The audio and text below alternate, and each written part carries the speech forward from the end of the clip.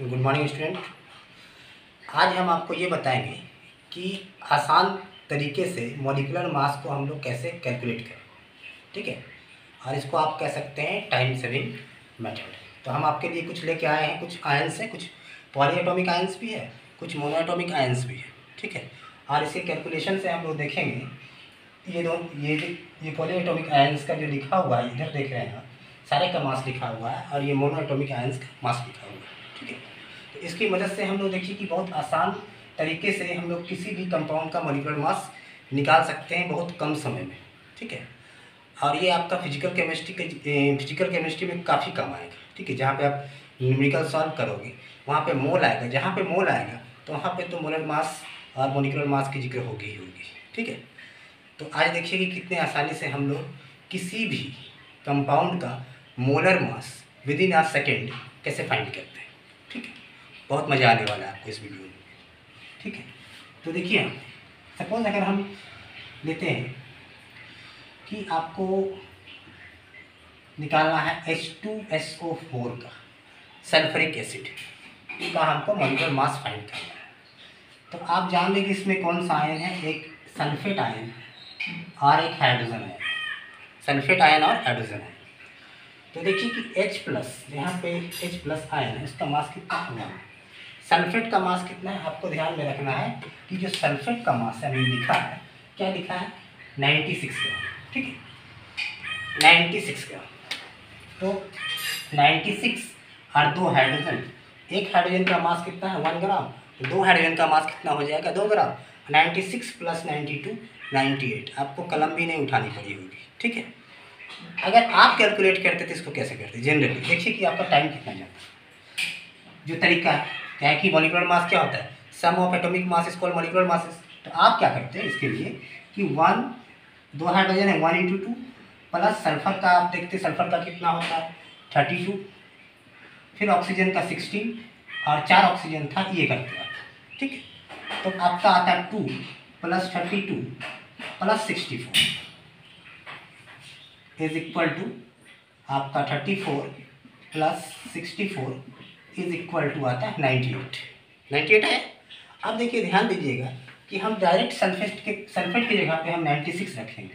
Direct ninety six और एक hydrogen का मास वन ग्राम तो दो हाइड्रोजन का मास दो ग्राम तो कितना आया? नाइन्टी एट ग्राम ये हो गया पर तो नाइन्टी एट ग्राम आ गया आपका। मतलब आसानी से आप किसी भी चीज़ का कैलकुलेट कर सकते हैं। दूसरा देखिए, अगर हम बात करते हैं कि आपका sodium carbonate N A two O C N A two C O three ठीक है? तो ये सब जो आयंस देख रहे हैं, जो मोनो एटॉमिक आयंस है जनरली सारे बच्चे को याद रहता है। ठीक जैसे कि हाइड्रोजन हो गया लिथियम और इसको याद करना भी आसान है। ये तो आपको याद ही होनी चाहिए थोड़ा, ठीक है? आप आपको ध्यान में क्या रखना है, जो हम पॉली एटोमिक आयन यहाँ पे लिखे हैं, ये सब खासकर। और यही सब यूज़ होता है, जितना आपका बोर्ड पे लिखा हुआ है, ये साइड चाहे ये साइड ज़्यादातर यही सब यूज़ होगा। अब देखिए कि सोडियम कार्बोनेट की बात आ रही है। सोडियम का हम लोग जानते हैं ट्वेंटी थ्री होता है। आपके पास कितना सोडियम है? ट्वेंटी थ्री मतलब टू सोडियम है। Twenty three into two forty six अब कार्बोनेट का देखिए कार्बोनेट का हमने लिख के रखा है। कार्बोनेट कितना है? साठ। अब देखिए, आपको कलम नहीं उठानी पड़ेगी। कार्बोनेट का साठ, और इसका फोर्टी सिक्स इसके मतलब कितना हुआ? Hundred six gram. आप कैलकुलेट कर सकते हो। ये हो गया ट्वेंटी थ्री और ये इंटू टू यानी फोर्टी सिक्स और ये सिक्सटी क्या हो गया? आपका one hundred six one hundred six gram. ठीक है? अब देखिए इसको अगर हम इस तरह से करते N A two C O three तो क्या करते हैं यहाँ पे देखिए two into twenty three plus twelve into sixteen into three तब जाके आपका रिज़ल्ट तो ही आता है लेकिन टाइम आपका किल होता है ठीक है? हो सकता है गलत भी आ जाए ठीक है? जब कैलकुलेशन ज़्यादा होता है तो गलत आने का संभावना भी रहता है। तो इसमें क्या है? सिंपल आप ए, आप ये जो रेडिकल्स दिख रहा है नेगेटिव रेडिकल्स है जिसको आप एसिड रेडिकल बोलते हो और ये पॉजिटिव रेडिकल्स है बेसिक रेडिकल्स है। तो ये स्पेशली किस लिए? है आपका आयनिक कंपाउंड के लिए। अगर आपको आयनिक कंपाउंड दिख जाता हो तो आप आसानी से, जैसे कितना लग रहा है कि K two C R two O seven बड़ा टफ लग रहा हो, क्या करेंगे इसके लिए? देखिए कितना आसानी से तुरंत रिज़ल्ट देने वाला है पोटासियम डाइक्रोमेट तो पोटासियम का होता है थर्टी नाइन दो पोटासियम इसके मतलब thirty nine into two thirty nine into two भी आपका दिमाग में कैलकुलेट हो जाएगा।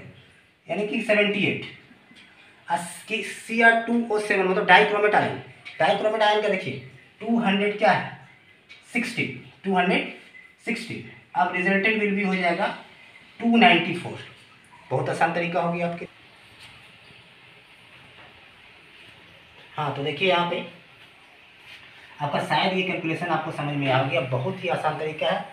आप चाहो तो किसी भी कंपाउंड का आप किसी भी कंपाउंड का मॉलिकुलर मास विद इन या सेकेंड निकाल सकते हो ठीक है? लेकिन हाँ आपको सिर्फ़ ये ध्यान रखना है कि और ये जो आपको ये ए, किस तरह से आपको याद हो जाएगा ये चीज़ कोई भी चीज़ प्रैक्टिस से याद होता है ठीक है? आपको जो भी चीज़ याद होगा अभी सबसे ज़्यादा किस किस एलिमेंट का आपको एटॉमिक मास याद होता है बताइए। आप बोलिएगा हाइड्रोजन का बोलिएगा सोडियम का नन मेटल में पूछेंगे बोलिएगा ऑक्सीजन का। तो ये कारण इसलिए है कि आपने इसे ज़्यादा यूज़ किया उसी तरह से अगर हम लोग इसका ज़्यादा यूज़ कर दें तो ऑब्वियसली आपको याद हो जाएगा, ठीक? इसके लिए अलग से आप देखिए, और भी हम एग्ज़ाम्पल लेते हैं।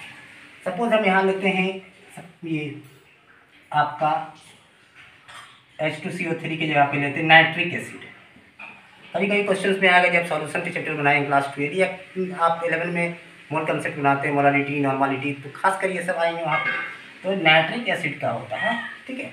तब वहाँ पे हम लोग ऐसा तो नहीं करेंगे कि वन इंटू फोर्टीन इंटू ये समथिंग करने से हम लोग बचे। ठीक है? तो हमारे पास क्या सोल्यूशन है कि नाइट्रेट आयन को हम अपने मेमोरी में रख लें।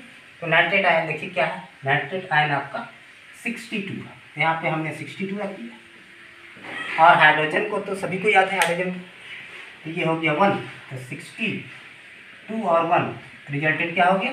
सिक्सटी थ्री ठीक है? अब देखिए कितना आसान लगेगा। A L two S O four whole thrice लग रहा है बड़ा? बहुत ज़्यादा बड़ा।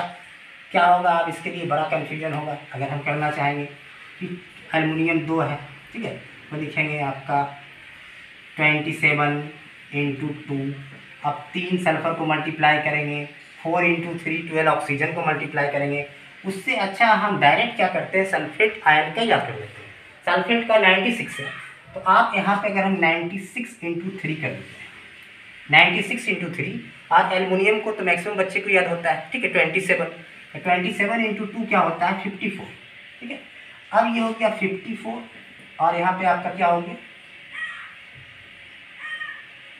टू एटी एट तो टू एटी एट और फिफ्टी फोर मिलकर क्या बनाएँगे? देखिए टू एटी एट और fifty four two eighty eight और फिफ्टी फोर यानी कि आपका थ्री फोर्टी टू आ गया ये रिज़ल्ट इतना आसानी से आपको कैलकुलेट अरे देखिए जो एलुमिनियम सल्फेट है का कितना आसानी से आपको थ्री फोर्टी टू ग्राम आ चुका तो सिमिलरली जितने भी आपको अब कैलकुलेट करना है, आप कोई भी सवाल बनाते हो प्रॉब्लम बनाते हो तो इसके कारण आपका हो सकता है सारा जो प्रोसेस हो मतलब आंसर रॉन्ग आ जाएगा इसके कारण क्या होगा? आपका सारा आंसर रॉन्ग हो कभी कभी आप इरीटेट भी हो जाते हो कि क्या कैलकुलेट करें, नहीं करें, कुछ याद रहे। तो इसलिए एक एलिमेंट का याद रखने से अच्छा ज़्यादातर आपको इस फॉर्म में मिलेगा कंबाइंड स्टेट में मिलेगा। कंपाउंड में क्या है ना जनरली आपको आइनी कंपाउंड ही वहाँ पर मिल, मिलता है। तो क्या करेंगे, जैसे मान ले सपोज़ और भी हम एक और एग्ज़ाम्पल लेके बताते हैं, आपको समझ समझ लीजिए कि आपका प्रैक्टिस हो जाएगा। हम्म। ये सारे जो देख रहे हैं प्लस वाला है, ठीक है ये प्लस वाला है। तो देखिए प्लस वाला को एक चीज़ और ट्रिक्स याद रखते हैं। प्लस जहाँ पे आई यू एम लगता है। आई यू अगर आई यू एम लास्ट में है, जैसे कि aluminium L three plus sodium I U M ठीक है, यहाँ प्लस आ रहा है, ठीक है? मैग्नीशियम आई यू एम जहाँ पे आपको एट दिख जाए, जहाँ पे आपको एट दिखे ए टी ई एट या फिर आइट दिख जाए, या फिर आइट दिख जाए, ठीक है? एट आइट और आइट समझ जाइए कि निगेटिव है। जैसे सल्फेट लास्ट में एट आया S O four two minus nitrate N O three minus sulphide S के ऊपर टू माइनस ठीक है? इसी तरह से आपका सल्फाइड ठीक है? एस टू के ऊपर एस थ्री के ऊपर टू माइनस तो ये आपको ध्यान में रखनी होगी, ये चीज़, ये हो गया आपका निगेटिव रेडिकल और ये पॉजिटिव रेडिकल ठीक है? अब इसके, देखिए, इससे क्या होगा आपका, ये प्रॉब्लम्स बड़ा आसानी से बन जाएगा फिर और देखते हैं। लगेगा, देखिए, इतना कॉम्प्लेक्स लिख देते हैं कि पोटासियम फेरोसाइनाइड। ठीक है, इस तरह से हमने लिख दिया। अब लग रहा हो कितना मुश्किल होगा निकालना, लेकिन इतना आसान से भी निकल जाएगा, आपको पता भी नहीं चलेगा।